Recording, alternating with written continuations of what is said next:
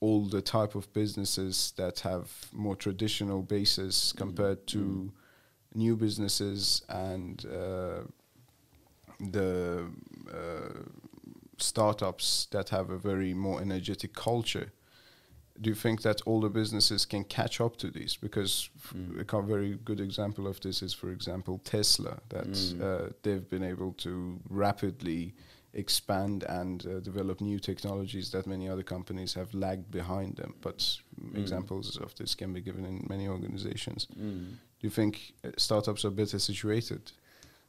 I think it probably depends on what kind of startup we are talking about, but mean, but, but whether it's a, s- startup that is sort of firmly situated in, in, in this sort of digitalization and, and AI sort of um, type of, of uh, or practices, I think then of course it's it's, uh, it's they can probably uh, be more agile and, and work faster and, and maybe also uh, scale faster, etc., etc.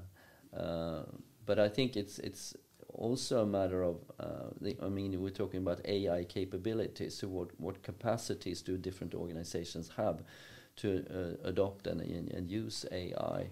I think it, it one shouldn't underestimate the the leadership importance here.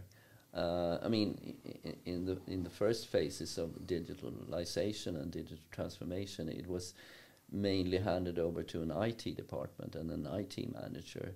And I think it's the same with AI. Maybe if, if it's going to be, if a big organizations or a, any type of organization is going to be able to sort of adopt AI and, and maybe scale fast, then then by necessity, it's, it's important that you have some kind of strong leadership behind this, um, and um, it, it cannot be handed over to a, single sort of IT department or an IT manager to drive this.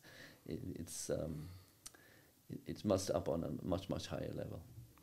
Uh, can businesses, and this becomes a question of internal businesses, but can businesses take uh, different approaches of trying to create a management team that is thinks about these Mhm. issues more broadly rather than just Mm. it being uh, in the hands of a few uh, IT department leaders? Mm. I think that's a, that's a very good question. What what kind of uh, uh, management support do you need to be able to sort of do this, and, and will it be different in different industries? Yes, probably. Uh, I mean, coming back to well, what what is it that is the sort of main driver of certain companies? If you if you look at from that side, whether it's a sort of pressure for sustainability issues, then I'm coming back to my idea that maybe then we need to sort of lift up the procurement function much higher into the sort of in, in the organizations alongside with the, the sort of management. Uh, whether it's a let's say a, a consumer market type of, of um, or product uh, related company, maybe then the, it, it's much more marketing driven uh, management group that you need to sort of have. So I think it differs depending on what, what kind of, of topics is it that are important for the company and, and uh, what kind of drivers uh, there are. Uh, so I think it's um, uh, it, it depends. That's a simple answer. It depends on, on, on the business. Uh,